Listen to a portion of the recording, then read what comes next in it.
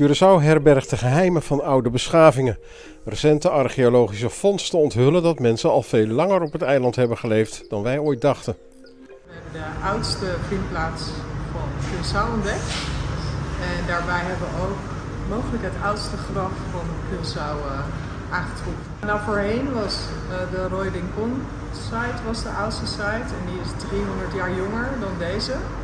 Dus we wisten al wel dat we hele oude vindplaatsen hadden, maar nu is het eigenlijk nog wat ouder dan dat we hadden verwacht.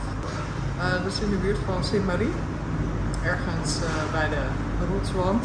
Uh, over het algemeen gaan we nu niet in op de exacte locatie, omdat het een kwetsbare vindplaats is. Jullie willen niet dat daar mensen... Nou, niet op dit moment en ook niet zomaar dat mensen daar zomaar komen om te voorkomen dat er dingen beschadigd raken.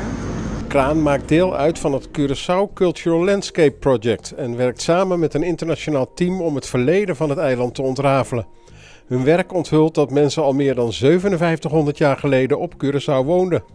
Een van haar belangrijkste samenwerkingspartners is professor Christina Giovas. Samen gebruikten ze geavanceerde technieken om de ouderdom van deze oude nederzettingen te bepalen. We believed it was an archaic site, which meant that it would be a few thousand years old, but we didn't know. And so we used a technique called radiocarbon dating, which takes advantage of the radioactive decay of carbon 14 um, and it is applied to um, organic remains. And we dated some charcoal from the site, and that gave us our age estimate for the site.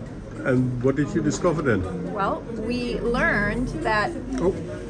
the site was much older than we expected. It actually predates the earliest, previously earliest known site on Curacao, Rui Rincon, by up to 850 years. And so that means that Curacao was actually settled much earlier than we originally believed. You received the results from Canada. How did you feel about it? We were very, very excited. There was quite a bit of celebrating when we got those results back.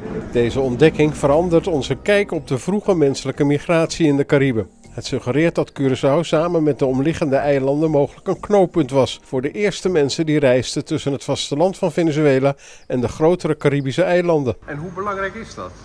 Nou, in de context van het Caribisch gebied is deze vindplaats een van de oudste uit de regio. Dus dat is heel bijzonder, omdat dat ook invloed heeft op hoe we denken over hoe de migratiestromen van de eerste mensen, de eerste bewoners van het Caribisch gebied naar de eilanden zijn gegaan.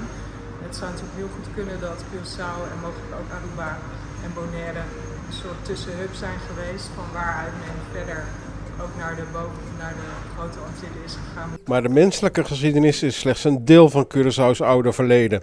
Geomorfoloog Jan-Pieter Herwijer herinnert ons eraan dat het eiland zelf veel, veel ouder is. Curaçao is ongeveer 140 miljoen jaar oud. En, maar verschillende delen van Curaçao zijn op een verschillende manier ontstaan. Kunt u daar wat over zeggen? Het eerste, de oudste, dat is basalt.